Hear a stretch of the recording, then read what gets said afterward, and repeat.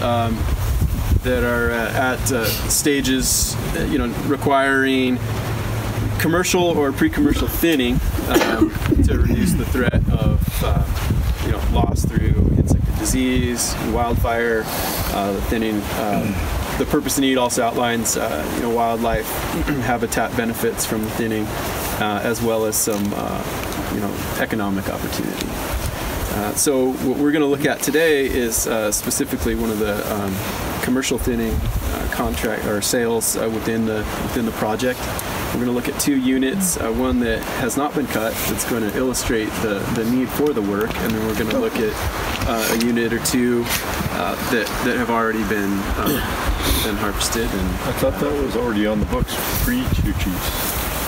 So this is not funded through Two Chiefs, correct? this is this is a timber sale, but other uh, other portions of, of the ground covered by the environmental uh, so the NEPA document are are being thinned, uh, you know, pre-commercial thin with with two chiefs money. So there's the West Side Plantation thin, and then there's the the Two non-commercial part. Chiefs non-commercial.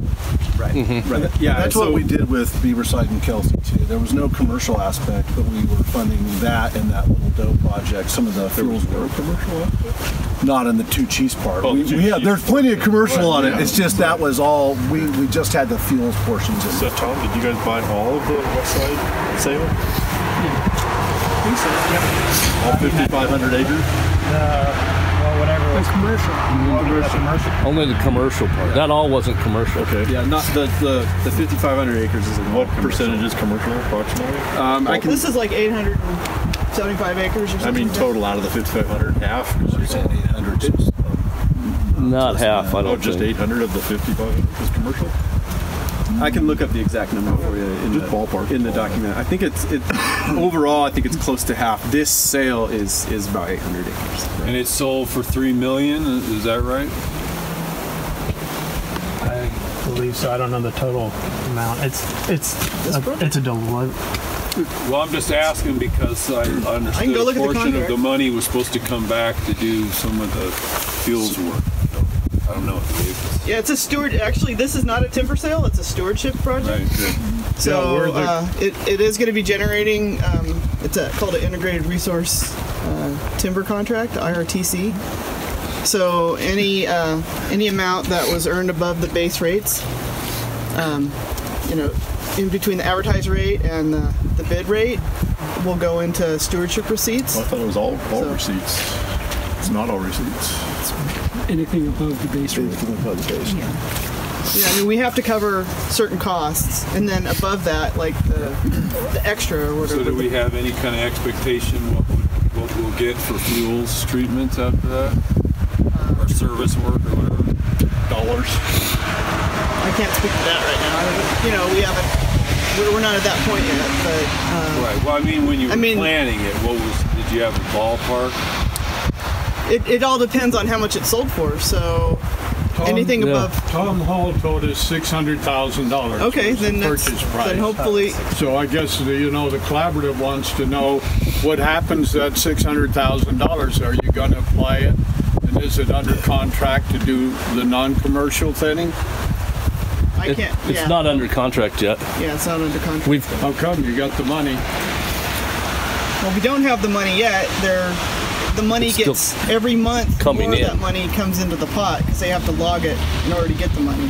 They don't So- prepay. It, it, We don't get you don't get the money up front. It, you know, every truckload that goes into the mill and gets accounted for, a portion of that money goes into the retained receipts. So Now, the, the good news is that the uh, volume that's coming off is probably going to overrun some. So there should be a little more money. Say the last again. there should be a little more money than if, if it were just what the original advertised volume was. So there's additional volume that's going to come off. So I think it's fair enough from the questions I'm hearing that we come back to the collaborative in a in one of your regular meetings with a, a rundown of of the numbers. That'd be easy to do, Ballpark. Especially once they come in a little bit more, so we have have that. Well, I think we're really anxious to see the non-commercial units get thin because, you know, the administration may pull that stewardship money. If they can pull two chiefs' money out, they can pull that out. You know, we don't want to see that money lost. We want to see it applied on the ground, and there's more acres of non-commercial than there is commercial to thin. So. Well, you bet. We have that concern across the whole forest because we have retained receipts on the other side, million dollars. You know that um, it's like it can go. It can be. Grab, yeah. It can be. You know, there's a lot of flexibility in use of those funds. So let's get a report back on that. And um, It seems like that's all the more reason to be planning that service work now, so we can implement it before the money gets grabbed.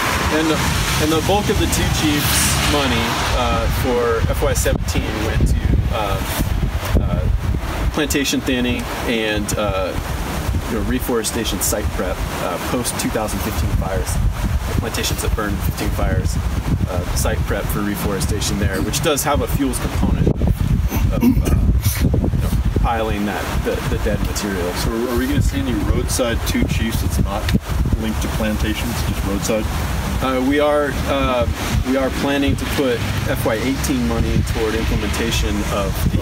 Uh, We're not gonna see that the- today. no, We will on our side. That's all. Okay. That's all we've got ours. in. That's what I'm anxious to see, what that looks like. Okay, well, let's go and see let's something. Who's Yep. leading? Those skinny guys Either started that to or- bowl. so we're gonna go first. We're gonna go see Unit One that uh, has not been has not been cut yet. Whereabouts? Um, Top of my driveway. Yep, okay. it's about a mile down the road. Lead, lead, lead on. Four and Right. twelve. You want to meet us out next to that? considering we started in mid-July, we've we've gotten quite a bit of this project done. So by the time we hit uh, next year, when we finish it, um, it'll be quite a quite an accomplishment for this unit. So did SPI buy both Unit 1 and Unit 2 there? Yeah, they're the purchaser of the whole contract. The whole 5,500 acres of whatever's... No, just the just this uh, It's 800. West Side Plantation Stewardship Project. The 800 under the west side sale. Not the 2,200. There is no second sale for the other 1,400 acres yet. Yes. Oh, there's gonna... Yep. Yep.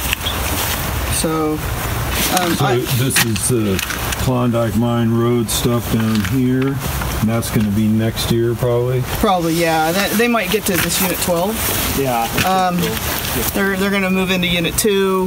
Like I said, we couldn't get to Unit this unit yet because we have where we're going to be hauling out of. We have to put rock on the road, and he, we didn't want to do any heavy road work. So And Thomas both saw timber and poles? Is the big unit one up top, or is that?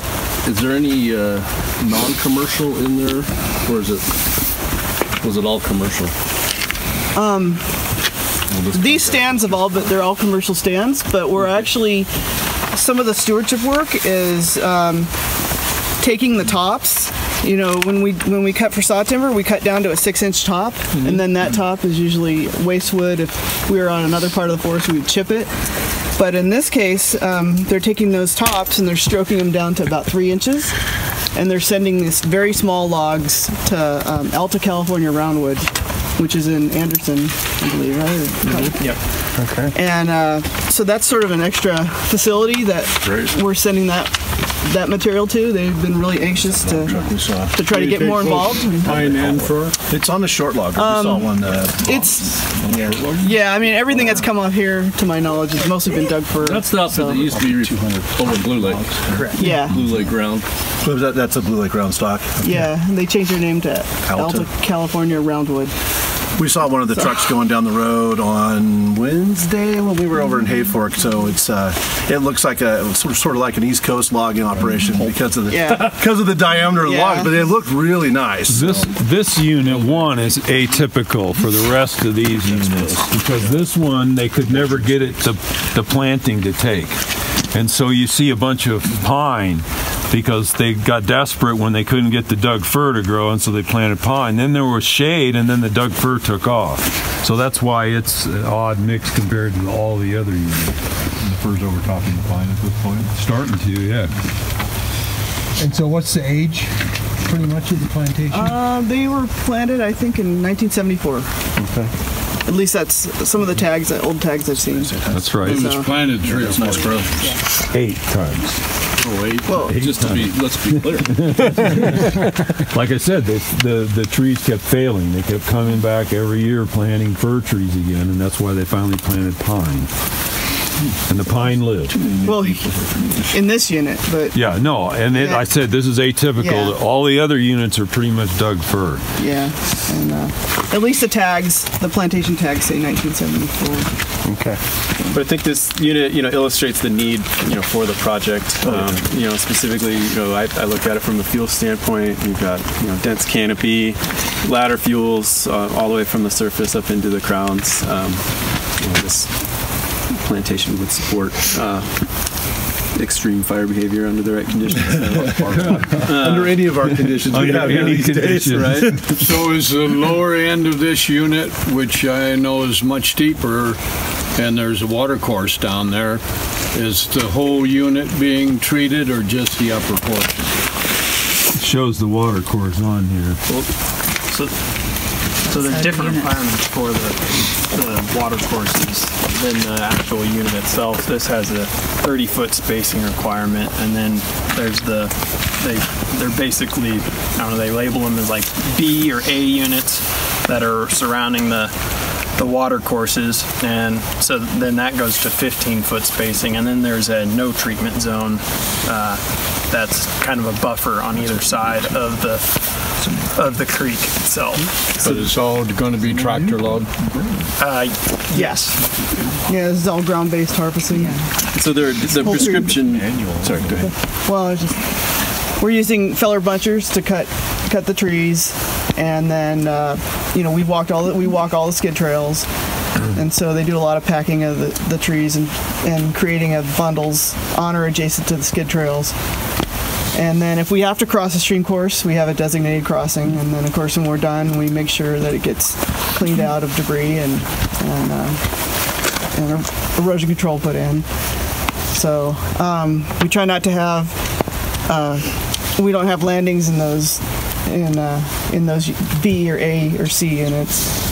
Um, usually there's a better spot to have just in the regular unit with the wider spacing anyway. So, and in fact, we've been reusing from when they originally logged. You could still see a lot of the temp roads and original landing prisms.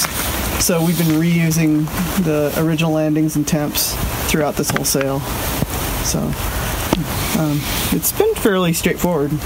We've, like I said, we've moved through quite a few acres on it and uh, had you know, Dan, a lot done. do you have a, a recent inventory? How many trees per acre are you dealing with in most of these plantations? I can I can get that out of the EA. Maybe at the next stop, I'll, I'll give you that, that number. That um, Yeah, just looking, it's probably, my guess is five to 600 trees Yeah. per acre. And it probably, after thinning, you're probably looking at 120 trees the acre maybe? yeah, and and the prescription does vary depending on whether it's uh, in uh, LSR, riparian reserve, or, or not, and and so wider spacing outside of the riparian reserve, and, and as Max was saying, a closer spacing in the riparian areas. So you're taking well over half the stems out. Sounds like. Yeah, and, and you'll see that in the in the units that we're going to look at I'm a little jealous actually because we don't really have some of that going on right now. I've got places we can do this with this era of, of um, plantations, but um, it looks good when you get up here. Anxious to see it. So no marking, I gather from looking at the map. It's all designation by description or prescription, or Spacing. yeah. but I mean, you didn't you didn't spray any paint. It's all there is orange paint out there. Oh, you did leaf tree. There are some leaf tree, tree uh, Uh-huh. patches. They, they've been um, having some. There's some small clear cuts, not clear cuts, but patch Group. patch. Yeah. yeah, group selects. You did I guess variable density. Skips and gaps. Yeah, gaps. variable. This is another way to say it. It just Okay. looked. I, I thought it was. You know, we'll see it as we move up, and I looked at the stuff on that side too, and it just uh, it looks more like a forest now than it did a corn roast or corn plantation. So it looks really. Uh, I think it looks pretty good. Yeah, a little closer to probably what the historic forest stand structure. And, and that was done to just provide more diversity in the stand rather than just the same, you know, plantation, uniform, you know, age and spacing. just to uh, throw some of those gaps in there and try to enhance some of the other species. Like there's madrone. Some of those have been painted in orange and chinkapin with orange leaf tree paint, and then some nice clumps of you know some of the larger Doug firs Yeah. or white firs. We love. So, looking at this, can you, Max, or show us what is going to be your better wood products out of this? Yeah. Um, well, for the prescription, we have to, we're trying to leave the biggest tree um, and then space, basically get an average of 30 feet from that tree throughout the stand. So anything that's smaller than that biggest tree for that certain section is what we're gonna take. And then uh, we're not, not required to take anything um, that's under 10 inches on the stump. Uh, so- and we can't space off of it either. So it has to be the, the bigger trees.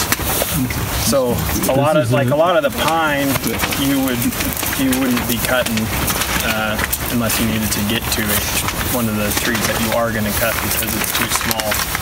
So you're going to pretty much be going after the Doug fir here.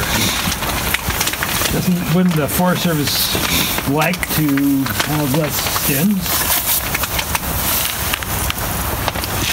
Yeah, I mean, from a, I can speak to it from a fuel standpoint. Yeah, we would, we would want to have more more canopy spacing and and you know pruning to raise the, the height to height to live crown. So it would be if- if they're- If they're trees the purchaser doesn't want, you still like them out, or, or at least down. Down would be better than up, right? Depends. I think when we go out to the next Yeah, units, we'll see it. It- I don't think it's, at least what I saw when I was out, I was out here hunting fine. Anyways, I didn't see any, yeah, I I didn't see any issues with it. I think the spacing was fine. There's, you know, you have, a- I think you have an occasional small tree scattered here and there. So th- this unit being so atypical of all the rest of them and having so much sickly pine in here, do you really want to be leaving the pine behind? I don't. Well, th- there's two theories behind it. One is you have species diversity, and even on South Fork Mountain, having species diversity is fine. And if you are leaving the biggest tree, so if you look at that clump over there and you say, okay, the great big Doug fir, that's our lead tree, and we're going to space off everything else. We're going to cut everything else within 30 feet of that tree that is at least 10 inches on the butt. Well, that's going to take out almost all those other little trees until you get to your next big tree 30 feet away. Because even though those pine are scraggly and little, they're 10 inches on the butt. You know, all these right here, they're all 10 inches on the back. Those would all have to go. They look six. Well, But they're not, doing diameter, well. they're not DD. Yeah, they just get their full needle count. since they they were planted and then the Doug fir came in after them, to me the Doug fir look a lot healthier than those pines. Oh yeah, there's no doubt. This is a Doug fir site. No, um, no doubt about it. And and the NEPA does allow for follow-up fuels treatments. So thinning, hand thinning, hand piling, pile burning, jackpot burning, mastication, chipping. All, all those tools are covered in the in the NEPA um, for, for follow-up fuels. And what's the funding for that? Uh, the funding for that um, would be uh, well, um, I suppose. Um, Or is there appropriate no, no, dollars no. It'd be appropriate dollars for Yeah. doing that. So, so it'd be, uh, yeah, it would be our our fuels money. Can you share that rule? Because we always, I always have to remember that too. Yeah. So retained receipts can't be spent on Forest Service salary. And so the whole idea of a stewardship contract is that retained receipt, receipts have to be spent um, spent by somebody else doing the work. So it would be a service contract or And know, not some of the- within, necessarily within the sale area boundary, correct? yeah, it can be used. Um, you know, stewardship dollars could be used on our anywhere on the, the Shasta Trinity. I'm not sure about the region. I think you know we'd have some say over that first. So but- these guys could ask a question, not that they ever would, but say the pilot project comes online, can these receipts from this sale be used implementing the pilot project? Absolutely. Yes. I'm just throwing it out because uh, we all uh, we're getting more receipts on some of these sales that are good ones like this, and appreciate you guys from SPI buying this one. and we have it in other cases too, but it gives us more flexibility and more restoration work beyond the sale boundary where old, our traditional means of retaining receipts for reforestation with the Knutson Vandenberg Act or salvage sales were more specific, much more specific and controlled to the sale areas. Correct? Ola? Yes. Yeah. also, they can't be used for um, doing uh, the NEPA activities. It Right. has to be done, for, spent on implementation. So it really is meant to, to come up with retained receipts to be spent by somebody else besides the Forest Service to continue to do more you know, restoration type activities. Including road work. They can Road work is Erosion control. Yeah. Different things. Well, that's, I mean, one of the things that we focus on is the fuels and road work. So, you know, a lot, a lot of times in the past, like KV money and stuff like that would be used on pet projects or these kind of things. And right now, we're focusing just roads and fuels. So like with our project we're working with the collaborative on now with the first 48, that money is going to go back into um, some of the road work and, and fuels. Plus, we have the settlement money too, but which is different. Um, but basically, uh, I think that we were talking about you know how you designate your stewardship area and how you, you know, we're trying to look at that right now with with the funding sources that we get from our budgets, it's really hard to actually get fuels work done. My district got $2,500 out of the budget last year for fuels. That's it. That's it. But we spent a million. Oh, okay. So we spent a million, and the fact we spent a million is because it was non-traditional funding sources, Joint Chiefs, and other places where the money came in, and so that's really where we have to focus a lot on. If if the first 48 uh, sells and has uh, a good price on it, we'll start retaining receipts. We might do an IRTC. We haven't decided that stuff yet, and then uh, that'll give us. Um, some more additional flexibilities uh, where we spend the money. But like when we talk about implementation, that's one of the big things with doing these collaborative projects along the roadside is you never know what's coming on the road. You know, you have good commercial and then you have, on my district, you have nothing sometimes. So we'll see some of that coming up.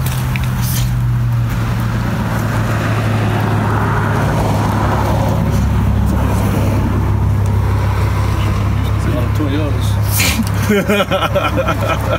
Toyotas. Any more questions about? a quick question on retained receipts. So I thought it was the gross revenue from the sale. It's the net revenue after planning costs and The base, implementation the base rate, What's the base rate? go ahead, you, or your Forest Service folks. The base rate's set by the region, right?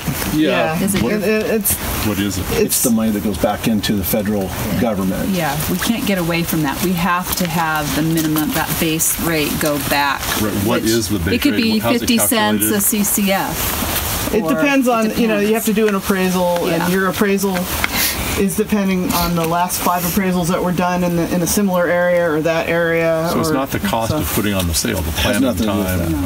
Okay. It goes, and then it goes Commercial value through. too, isn't it? What's that? Isn't there an aspect of the calculation involving the value, the market value of lumber too? And It is. It actually is a Yeah. formula. It goes. It, it goes into a formula, and it spits out a number that we ha- we have to adhere to. We don't have any flexibility on changing that much unless we tweak our, our numbers on our side. But it, it kicks it out. We have to pay that part back. It goes into the Federal Reserve, and then everything else is uh, you know between us and the region and getting the So money the- back to the forest. with the uh, you know like salvage sales which are a lot of times hard to sell because of merchantability issues the regional forester said he is willing in order to get the treatment done even under his authority lower the base rates just otherwise we can't get the work done because industry can't come to the table because it's too expensive for what you get because of merchantability issues so you try to sell it for even less And base rates, Bob, vary by species. Generally, the lower value species have a lower base rate. So, like white fir base rate used to be a dollar a thousand, whereas sugar pine was a hundred thirty dollar a thousand base rate. You know, so it, Red first free. No, just kidding. Let's go look at some logging. yeah So about another mile and a half or so down the road. Yep. Um, there's a big landing, so uh, plenty of parking. you'll check trees. About the trees per acre. Um, you know, by size class, so the, the plantations that are, you know, the trees are 10 to 20 years old, um, 400 to 500. And in the, the older plantations, the ones that are, uh, you know, 20 plus years old, uh, averaging 400 to 600 or more trees per acre. So you were you were pretty spot on there, Tom. So And then the ones that have been cut before um, were thinned to an average of uh, maybe 300 trees per acre. If they were thinned more than 10 years ago. They were PCT. Yeah, the ones the ones that had been thinned. So this is like a little weed patch here. Yeah. So I'll let patch. I'll let Kate and um, let these guys speak to the, the state of, of the unit. So it's uh, yeah. There's no leaf patch necessarily. If if any tree was to be left on purpose, it would have orange paint on it. So that might have been an area where there is some rocks in here, and maybe a machine couldn't climb up that little spot. But um, you know, in general, uh, we're trying to leave the biggest trees in the thinning, and then it's operator select. You know, uh, we go 30 feet between you know the boles of the trees. Uh, and occasionally you come to an area if it's too steep or you couldn't get to it uh, where it's a little tighter than that. But in general, um, once you get out there walking around, and the sale administrator out here was he had a tape with him and he was measuring, and you know because we're we're out here every day um, just monitoring the cutting and um, the role of the sale administrator is to make sure that uh, you know we're they're staying on skid trails. The spacing is in compliance with the contract and so um, there's a lot of oversight by the forest service on a project like this. Um, and then as you can see there's trees that are smaller like that that little well it's a dead tree right there but the, the smaller trees um, we try to avoid um, having to cut them because um, you know it's not uh, we're not taking biomass on this sale. Where you know on some of our projects over on the east side we'll cut the biomass and chip it but um, we don't have that. You can't get chip vans up up these roads so um, pretty much just a, a saw timber product that we're getting out of here. But once they get to the landing then they can take those tops that we cut down to a six inch top stroke them out to get that small wood that went to that other facility. So um, if if there's a unit and it has a riparian area you know the the um, the spacing gets narrowed up quite a bit.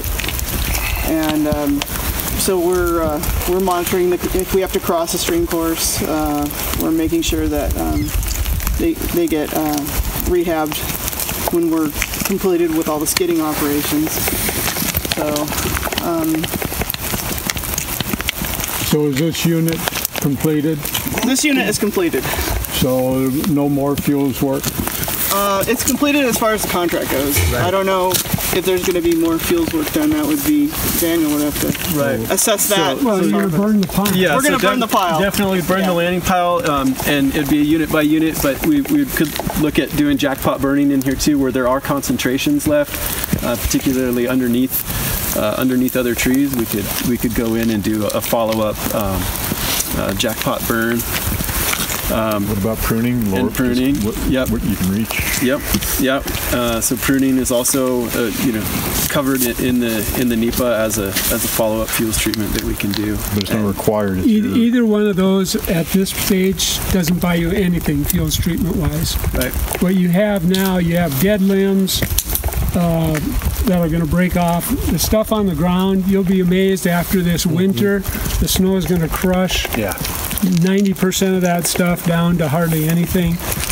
Fuels wise, this is this is in a condition right now for the next 20 years, 30 years, where if a fire is going to go through here, it's going to stay on the ground pretty much. And that's the kind of fire we can fight way easier than if this was a plantation. I look at this and, you know, I'm not, I don't have any worries. If I had a lightning strike somewhere in this, this kind of a stand and we responded, say on this side, it, this is, this is uh, an ideal condition for our folks to fight in.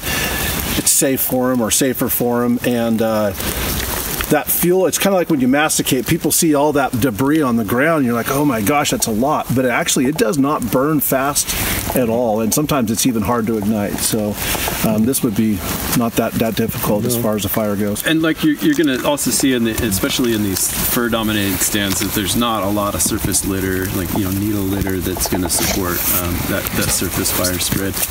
And, and so all of those tools I mentioned are, are, are uh, available to us, but uh, again, it'll be a, a unit by unit, case by case basis of whether or not that was necessary, as, as Tom was pointing out. Um, and, and when I was talking about pruning, you know, we'd, we'd be looking at pruning you know, live limbs or, you know, ladder fuels that are going to support uh, fire carrying into the crown from the surface, and, and these dead ones are not going to they're not going to support that at this time. From a soil standpoint, this is a pretty cleaned up unit. I mean, this is, you know, nice. Uh, we wouldn't want to be taking a whole lot more off the ground. Uh, so it seems like the, the multiple objectives, enough left for protecting soil, enough taken, and hopefully meeting the silvicultural prescriptions for growing new trees. Yeah, this is really, this is, we're doing this on almost all our ground now is, is basically whole tree logging it for that feller buncher snips them, puts them into a group, a bundle. Uh, a, uh, either a cat or a rubber tired skidder with grapples comes along, grabs them by the butt, brings the whole bundle to the landing at once. Limbs get broke off as it's getting skidded, but the bulk of the material all ends up at the landing. And by taking that three to six inch material, that, I mean, I have piles Yeah. 10 times bigger than that. So do we right now. When, when you when you leave So that this material on, so just getting not you guys that six to three inch stuff off makes a huge difference in how big your landing piles are. It's too bad the truckload isn't coming down, Bob, because it was it was uh, they were very nice uh, little logs. It almost looked like a load of fence, uh, long fence posts. Yeah. No photos? You don't have anything with you? No, we were driving. No, okay. I was driving. Kristen would have had to have taken it. and She just wasn't fast enough. So, Tom, what do you think about brush invasion here? Think whitethorn's going to take hold? Nope. No, because um, one, you you aren't doing any burning right now, and usually when the whitethorn comes in, is ceanothus is is really uh, active after a burn. So with very little burning being conducted, the seed that's in the soil here isn't going to sprout back up. And this thing, in five years, maybe six years, you'll probably have 80% canopy closure again here. Wow. Yeah, it's gonna grow. These are great trees. You want to take a guess on percentage today? Canopy closure, Yep. 60.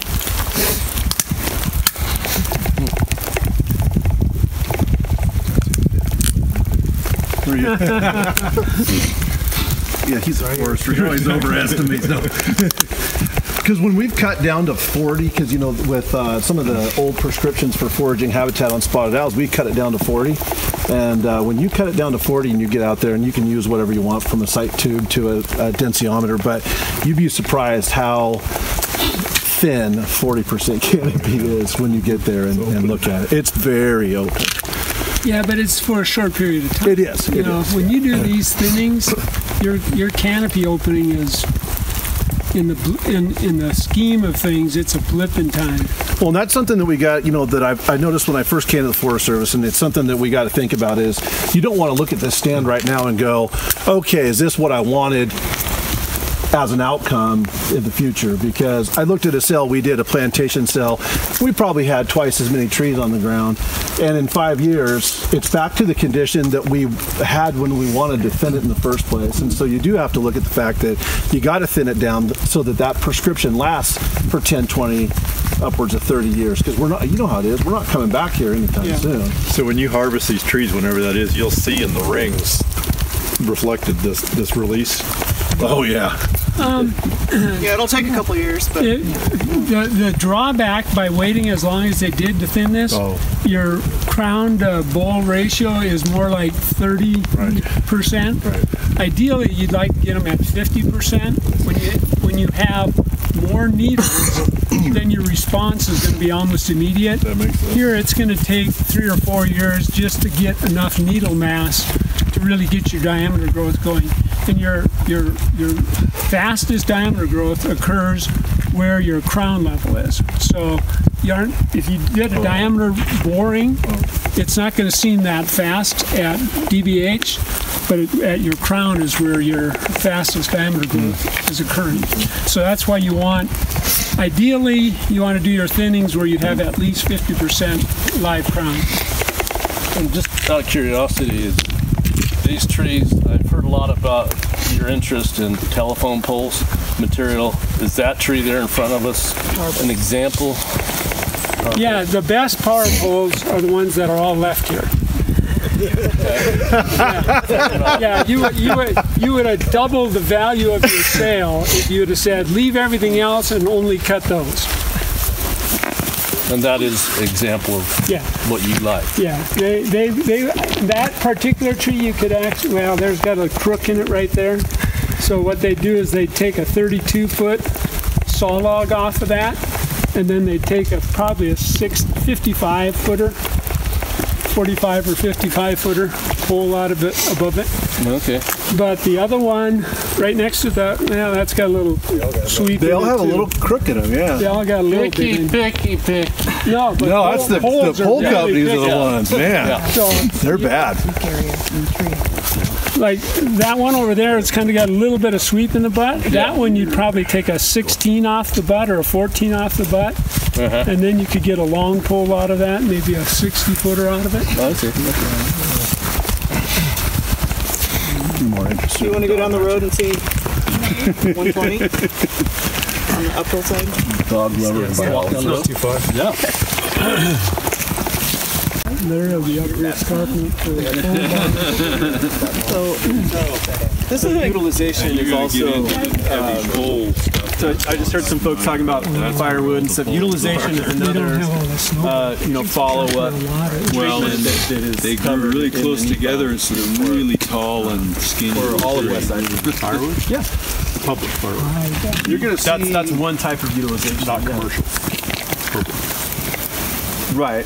Um, sorry. Go ahead. Oh, I was going to say, you're going to see a, a deck when you get back onto our side. Uh, there was 250 cord in the deck.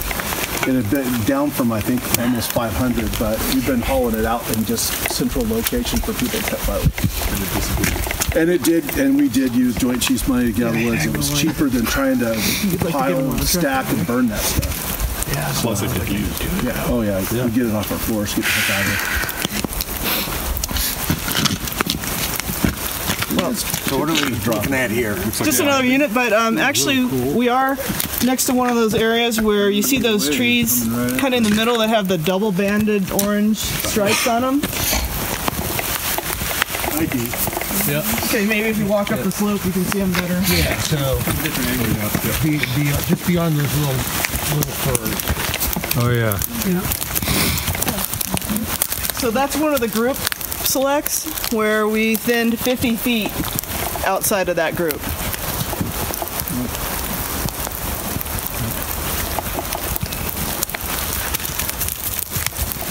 So it's just it's just a little bit bigger gap in that to increase or improve diversity or increase the diversity with that particular clump of, of leaf trees.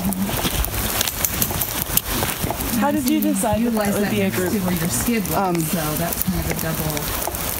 The marking group Random. decided it. Okay, gotcha. You know, they, they were just told- instructed to pick out nice groups. Nice group. So it had to be a cluster of good trees. Yeah. Yeah. Or maybe it was a madrone, or a sugar pine, or a white fir. It could have been another species that we found in anything else. Okay. Um, So I, I didn't hear the answer to Aaron's question. What was the? I didn't hear Aaron's question. Oh, she asked uh, how they decided what uh, what would make a good group, and um, I wasn't involved in the marking, so, but um, I'm, you know, they were. I'm sure the the prescription talked about, you know, when you're out um, designating these groups, you know, find nice candidates, you know, as good examples of leaf trees that we want to enhance. And it could be another species like a madrone or a white fir or sugar pine as well. Some of those have um, the or- double banded orange paint on them. So it's just uh, we're just giving those trees a little extra space, and then also the area around them is going to be, um, you know, some kind of forb or brush component will come in to provide just more diversity in the stand, rather than just having that even-aged, um, you know, planted plantation, you know, same size roughly. In the future, hopefully you'll have them at least 150 feet away from the road because we don't want brush next to the roads. Good point. Good point. Yeah, That's, yeah, that is a good point. So I'm going to ask the fuel break group. So if this were uh, over here, an area where you guys were doing the prescription for the pilot project, what would it, what would you be looking for it to look like? Since it's very similar, the first thing we call for is look for the biggest, best canopy tree and then space off it. So that big 60 incher back there is your best Okay. tree, so that's your first tree you're going to pick with. And then we say pick off of that the diameter plus plus four, so 60, you go 64 feet, which would be probably one of these trees over here uh-huh. as your next lead tree and basically trying to where your crowns are just about touching. And so it's going to look a lot like this, except in smaller diameters. Smaller diameter trees, we don't have a standard 30 foot spacing. It's going to be diameter plus four. So if you have 16 inch diameter trees, you'd only have 20 foot spacing. So smaller trees, the trees are going to be closer together. Mm-hmm. Bigger trees are going to be further apart. Okay.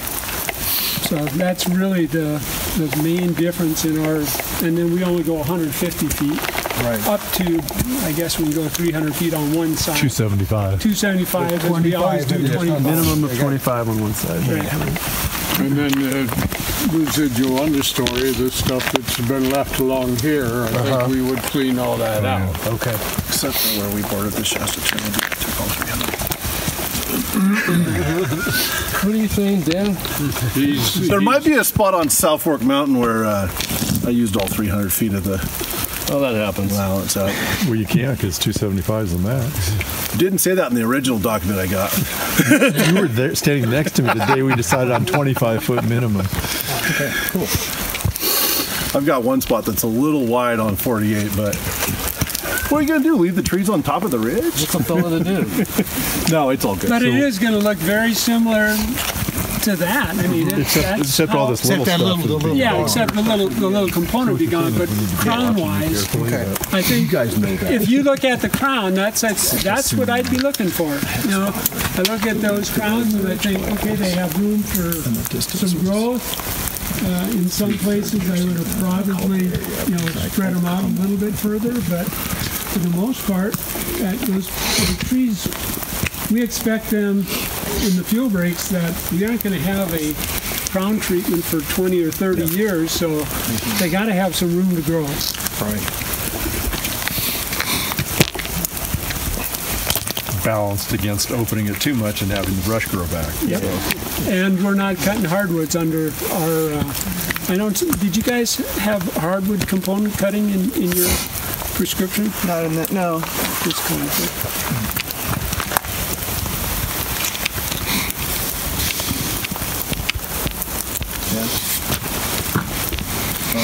Where to? So it's hot and sunny right up the road, I heard? My wife texted me and said it was sunny in Fortuna. I don't know how that works. That means the store's been on trees. Welcome to South Fork. They, they hang up here, man. Yeah, that's why it grows trees like this. day. Yeah. Leave the coast. Well, imagine, let's, yeah. To the car. So what's the next stop going to be? So um, that's that's all we have for the Shasta Trinity Okay, then portion. we're- so we're heading to on Ruth. What Dan's got. Okay, so for those of you that weren't on the last trip, pay attention to when we turn. 2S48, is that where we're going? No, we're not doing that. We're going to go to where, where we've actually implemented some uh, work on the ground. We're going to go to the Ruth Guard Station. So we'll go down South Fork Mountain to the Ruth turnoff and we'll head south. Um, and we'll go to the Ruth Guard Station where my fuels um, Uh, planner is waiting for us, Nancy Curran, and uh, the remnants of the log deck that we had there too. Where is it in relation to the store? Uh, it is just a couple miles south of the store. She drives slower than Jeff Jones does, so you shouldn't want to take your car back And uh, Dave and I are not going to be going on to the, the Six Rivers um, portion of the, the trip. So if you, Yeah, if you do have any other questions for, for Dave or myself, um, I'm happy to answer them, and I'm happy to uh, bring any follow up information We'll uh, definitely later bring on. back to the collaborative uh, question on balance of receipts and where.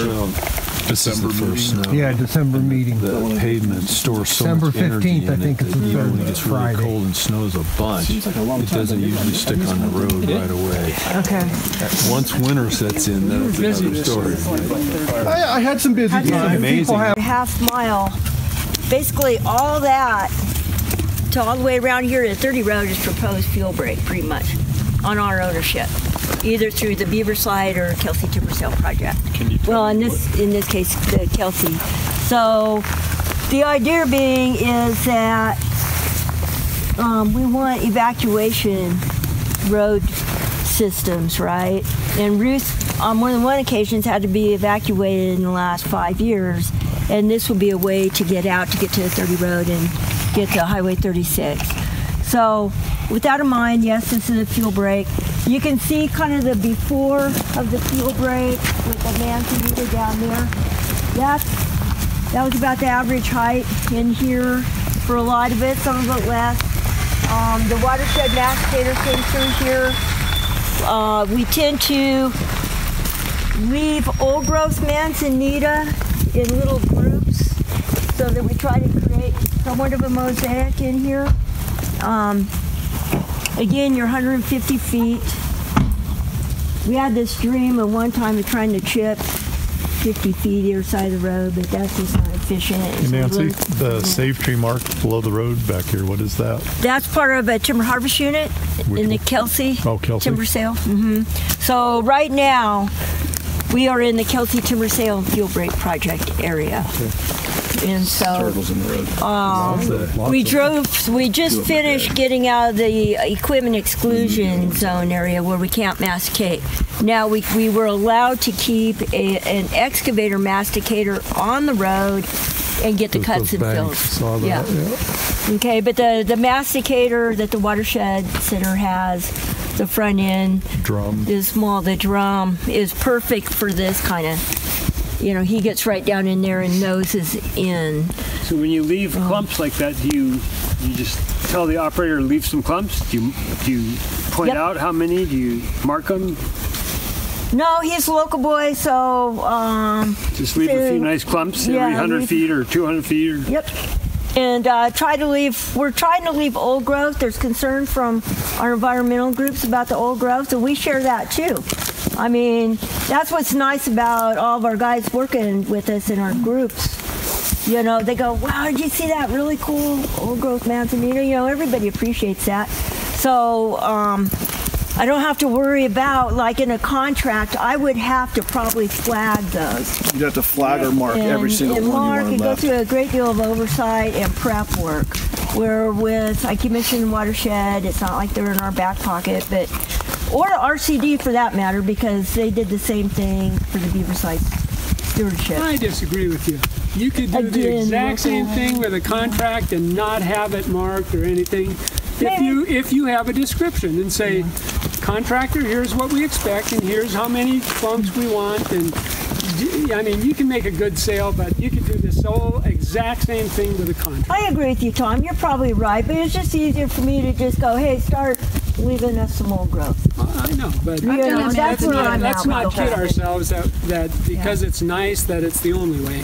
I'm not if you, saying- if you had a contractor bid this against what you guys did it, and it was 50% cheaper, I'd say hell yeah, do a contract. But I, You don't know. You didn't have Okay, a bid. but uh, you're right. I haven't done a contract with this. I'll tell you one of the reasons right now, just really quick, so because we got to keep moving here. Is all right. We're moving along. So then I have to say, okay, on slopes this way, or hey, Daniel, forget it. I don't like the way the mastication's going here. We want to do this, we want to do that. We're in a learning phase.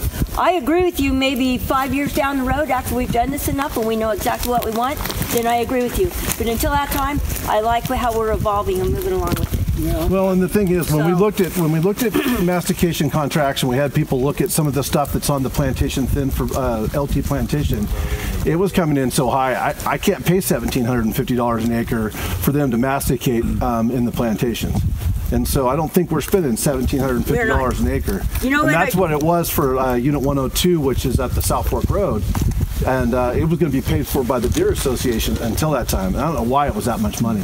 We're that just looking seems insane. We're looking max around here, 1,200. I just calculated yesterday on a maintenance mastication on Mad Ridge, $179 an acre. Maintenance mastication. Yep.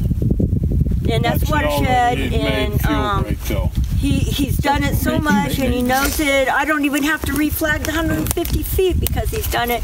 It's the third time. If I tried to burn that, I bet you I'm looking at 400 to 800 an acre. And then I get the sprouting back.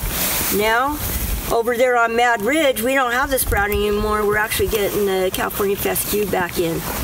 So, yeah, I, I understand contracting, but on stuff like this where we're evolving and we're learning, I like having our local folks doing it. Plus, it's our local folks doing it. So, um, that's where I'm coming from from that. So, in addition to this, what they can't, like around our oaks where it's sensitive, or we got some firs here and there, where the masticator can't get then the Scat crew comes, they come right through, bingo. So then we get the whole area treated, lop and scat, and then as we move up the hillside, you saw some in the campground, that's where the removal comes in. The only problem with the equipment exclusion area, removal is is more difficult because we're hand moving it. We're here when you're we can just use we're just use our excavator and he moves along we'll see up where we have a lot more timber component. He just moves it and we deck it and load it and we're gone. But as far as the fuel break goes, fighting fire on the side of this road here is not going to be a big deal compared to the way it was when it was scraping bins and needed down the sides of your rig driving up through here. Well, and back to that 150 feet real quick. So we just had the fire on Mad Ridge Fuel Break, 150 feet. So there's people go, hey Nancy, that fuel break it didn't hold. Oh yeah, it did exactly what it's supposed to. It sure it did not exactly. It didn't hold where we had a steep swale or headwater, right? So what fire's going to come right out of there. But what it allowed us to do, we were able to keep engines and hand crews to fire off of that. The fire came up, big deal. It spotted just a little bit. It would have been a lot worse had we not had the fuel break. So 90% of the fuel break held. We just put a little hand line where it spotted and it was done and over with. So controllability, the 150 feet for the most part works pretty darn good because the whole idea of this of these fuel breaks, it may not be to stop it. It's the idea that we can now manage fire and get it stopped because if that fire gone over Mad Ridge, it would have backed down in the roofs. So, yeah, not every place. There's places in fuel break, they're going to breach fuel break no matter what you do. But in that case, we were able to just take a dozer, get a line around it, call it good. So So, it's like the North Pass fire on the Mendo. They had fuel breaks out there that didn't hold at all. You can't build a fuel break for the fire and weather conditions that they had when that fire went through. It's just not going to happen. Someday it's going to rip right through there. So we off to the next one. We were saving turtles where we thought, but they were dead. Besides one. oh yeah, I can't oh, see. Oh, they were not squished but dead? No, they were squished. Because there wasn't one squished when we came. Their around. heads were squished.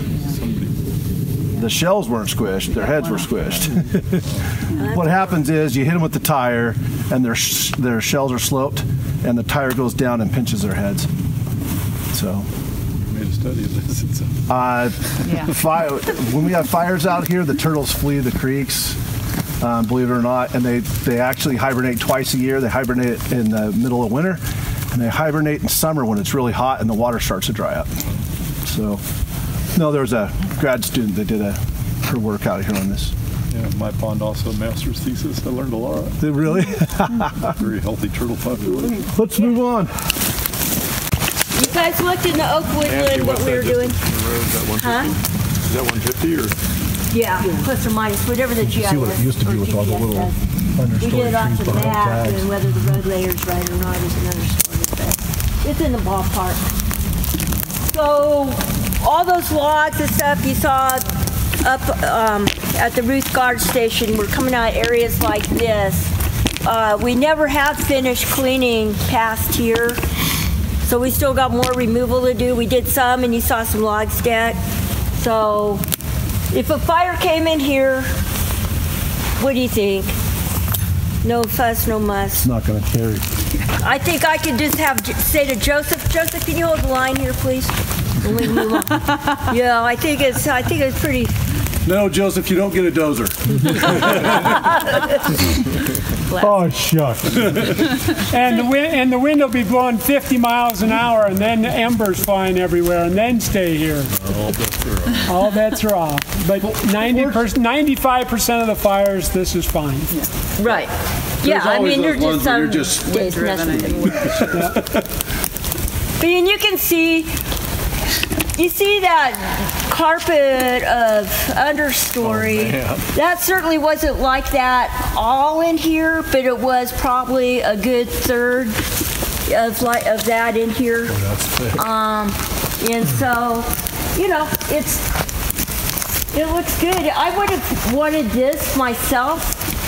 Uh, and Christian would talk about this. I would have liked to have seen this as a timber harvest unit because you got that one right there.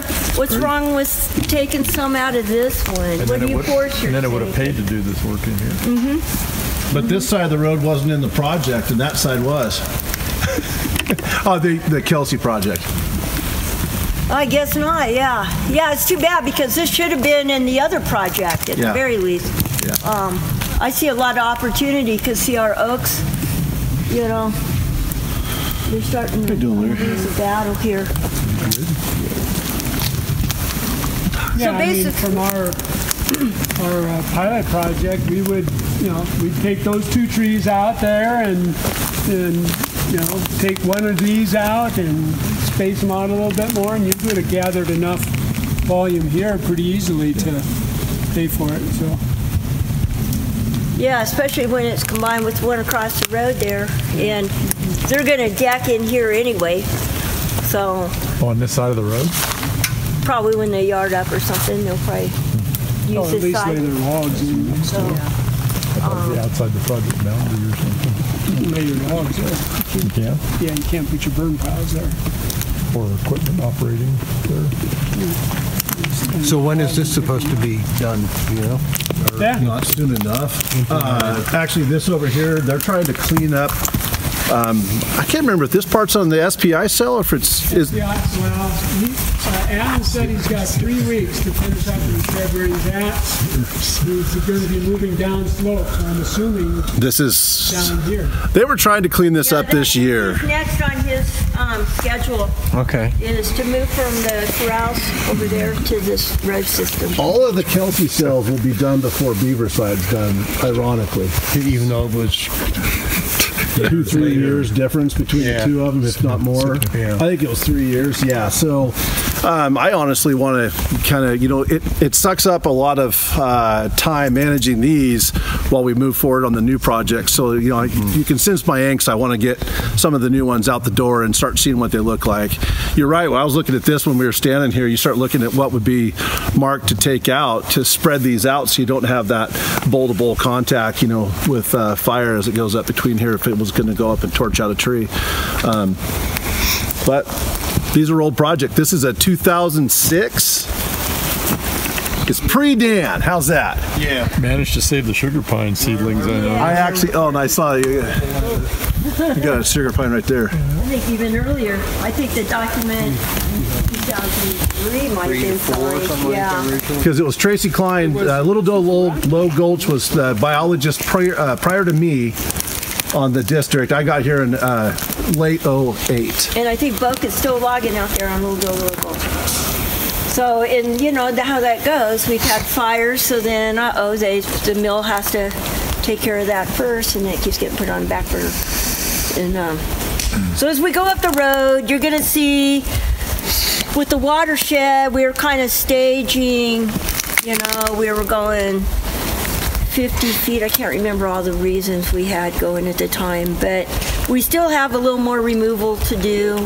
Um, and a lot of that will probably either just deck it alongside the road or when we get our dump truck again, we'll load it up. But this is this is kind of what we're looking at when you hear end result.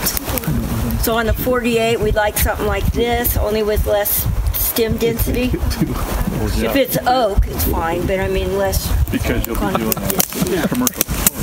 Mm-hmm. So it's kind of where where we're headed. I'm hoping. Which one? One behind it would snag. It's nice they take the Well, lid no, the big one's snag. So it's, start- I'd start with that big one and say, okay, that's my first tree, I'm gonna start spacing off of Do that. the 30 from, I just love that tree. and then like here. No, so not, you- not, not, not around. I'll plant all oh, the money. That's And so of these two, this one's a bigger diameter than the one behind it. Which one's? The crown looks like it's fading. over. Yeah, I was gonna I think say, the one on the left looks take, better. take the better, leave, the- leave the better crown is the, is Even the though it's Smaller criteria. diameter. Yep, Most likely to have the most shade over the longest time. yep. Yes, thank you. Yeah. And we'd wanna leave the sugar. Dog in a log. Right. There's a photo opportunity right behind you there. That's the way, the, that's the way it works. Oh, that's staged. So, you know, say we had a unit like this in the first 48, it's not going to be a timber harvest unit. It's a little less stems. And we're just calling it, it's not going to be a commercial component. Is that something we could throw in for a firewood prescription or whatever we were talking about? Like if it had less trees and we were just gonna cut an occasional one? Yeah, we're, we're, we're saying do the entire road, Yeah. but, but gen- where you can generate enough revenue, generate revenue to try and pay for the entire road. My thought on those were gonna be that they would be left up to, how's it put in there? It's an optional, you know, it's up, up Yeah. to, it. and if they wanna come in and log it, fine, otherwise we'll for it. dispose of it potential, ourselves. so we were calling it Potential. potential, with the- so we weren't calling it like it's a commercial thin. It's, it's a shaded fuel break or hazardous fuels reduction. The potential was like TSI poles or pole size, you know. Um, So if a purchaser wanted them, sawlogs, we'll, we'll get, we'll take- sell them to yeah. them. If they don't, we'll take care of it through our, our normal means. On first 48, you know, we're kind of lucky in a sense. I know you might not have seen it, but the, uh, when you're at Ruth, there's a roof fire scar. We got $300,000 out of the Ruth fire to do work, and uh, Kristen wrote up the uh, proposal for the region, and that's going to go into roads and fuels on the portion of the 48 that goes, well, the 48 road that goes up through the fire. So we've already got 300,000 for that. and then on top of that, uh, we've got some additional funds that I've got kind of squirreled away that um, we'll be able to use on it. And then whatever comes in off of uh, whether we do an IRTC or a traditional sale, we'll still collect receipts off of that and put it back into the project. And so we're hoping to be able to do all that and then see out, see where we come out. Now the the uh, Mule Deer Foundation has been wanting a place to spend money on this district, and they've come to me asking about working on um, like uh, pre-commercial thins. So doing the TSI pre, uh, PCTs. So we might put them on 100 and how many acres in there? There are mule deer here, are there? Uh, mule deer uh, now. The black-tailed deer is considered a subspecies of the mule deer. So, yep. Well, we have a lot of flexibility and potential in there too, because we have oak woodlands, and so with that fire money, I wrote in little line items for, like we talked about the guzzler and doing some fuels treatment. Just trying to draw them on, draw them into it. Yeah. And the uh, Pat Fritz Morris, uh, California Deer Association, has been wanting to spend money again up here. I think Nancy, you've had money in the past. We just uh, with the watershed again. On, again, I'm not their spokesman, but um, we just finished dumping Cal Deer money into them, and they're almost done spending it. I I know even the growers are happy to see what um, Daniel did on the south fork of the Mag. It's just it's night and day now. um, and then we gotta do a fish lapis cat. But Cal Deer, yeah, 25 grand a shot. So, um, in Rocky Mountain, now that I'm hearing, the Elk Foundation, um, there's opportunity with them now that the elk seem to like coming over to the side of the mountain. We've got So- four small herds on the district now that we're trying not to broadcast where they're at just because we had uh, one of the bulls poached last year, um, but the person was caught. So um, some staff did good work with Fish and Game on that. But you know, it's hard to get the elk uh, started. But you know, the first 48 has elk in it.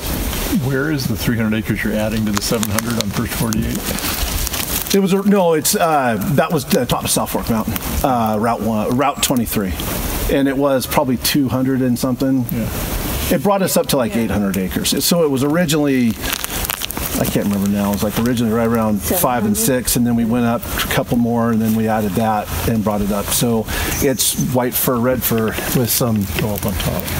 Yeah, it's uh, you know it's the same kind of stuff that was in the Red Fir project. Other than there is some areas that got sugar pine and some cedar and things like that. But it's uh, if you have a chance and you drive out Pickett's past Pickett's Peak, there is blue flagging on the side of the road that's our side. So you'll see some on both sides where the ridges are at, and those are the units they're already laid out.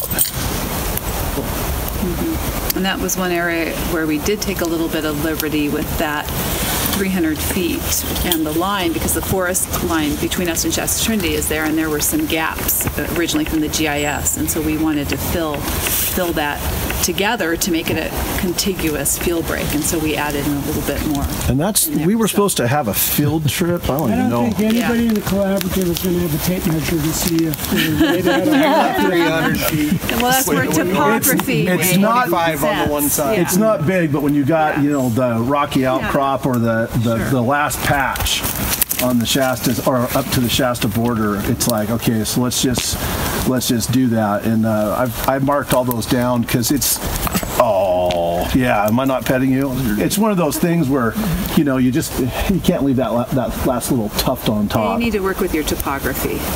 But in most cases, you know, uh, there's not. I mean, you go off on our side, and it's just straight downhill, and you know we, we've got the distances back and forth.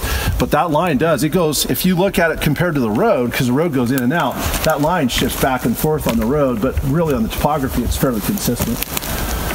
Well, if we can ever get these pilot projects done, Mine one of the things I want to recommend is doing the ridge top. First of all, mine's not called pilot. It's a proof of concept. I didn't want to call it pilot because you guys had all these bad words about pilot. So, um, but in this case, it's not. Can't wait to get that proof of concept done. Well, yeah, part of it's my fault because I am on an incident management team and I had seven weeks of fire duty and then I was out on sick leave for a couple of weeks after that. we we got. I got behind, definitely. You know, I hate making excuses, but between the snow last year Yeah. and the fires this year, I'm not where I want to be. Yeah. So, but we're going to get it done. We're still going to get it done when we need to, and uh, I promise to get it sold as fast as I can, so that we can start seeing what what happens to it, and then. Uh, you know, we'll come back out, look at it, and we'll give thumbs up, down, or neutral, and we'll make some modifications and go to the next project. I think that one of the things too, is getting these things sold back to back, is we still got louder equipment here. So, I mean, So we gotta based on what Nancy was talking about earlier, and that's a question for Tom. So if we were to go beyond 150 feet on this, would that require a road to get punched in then? 300, Still get it. 300 feet is nothing to still. Okay. Because that would be one of the big drawbacks that we would run into If you is if we had to further punch roads. No new roads. Well, then that would kind of be just like a repair and reserve. Okay, if we need a road, then we're kind of done. So that looking at ground, I mean, like on the Shasta Trinity, all that stuff is ground based. So you, you just drive your feller buncher where you need to go. So it's really easy. Once you get You're over those thirty infrastructure percent in slopes, then yeah, it would be it'd be an issue. Your your logging costs go up then because you have other types of equipment. But see, that's the kind of stuff we're going to learn on these. So we're going to have areas that are more expensive than others. We're going to have areas that, that have no commercial value. to leave something like that. Yeah, boy. yeah, you know. That's a wildlife uh, cover habitat. It's almost But too yeah, but thick there for is that is you That's brought like up a really good wick. right there. That's, that's true. That, that would burn hot. Um, you know, if you look at, we had patches like that that burnt on Saturday that were, you know, we had these, uh, these pockets of conifer. And oddly, when, I don't know how it worked, you were out there too, that fire came screaming through the oaks and through that heavy grass, and it actually sat down when it hit the conifer and slowed down and started increasing in intensity and heat, and we were able to get it when it was there. It just didn't have that force to blow right through. Of course, the wind Right, slowed the down. The wind. too. See what So happened? the the wind's wind calmed down dropped it. too. The wind dropped down. That's a and pretty it- big thing right Yeah. there. So, so you know, honestly, if, if anyone read about that in the paper, that fire in all accord would have gone to the top of South Fork had the wind continued. We would not have stopped it where we did. So, So, do we have more stop? next stop, Nance? Um, Or do you want to turn around, go back out, or drive out to the 30 and? I just, I mean, What I'm do you thinking guys it's probably 220, 230. think we've learned from this. Has everybody learned what they came here to learn about the fuel break? I mean, is there any- This is, you have the eddy effect happening. I have one So other the area. wind, you can It is see, not yeah, necessary. It was At the just a top of the learned ridge, on it was trying going to 50 chip. miles an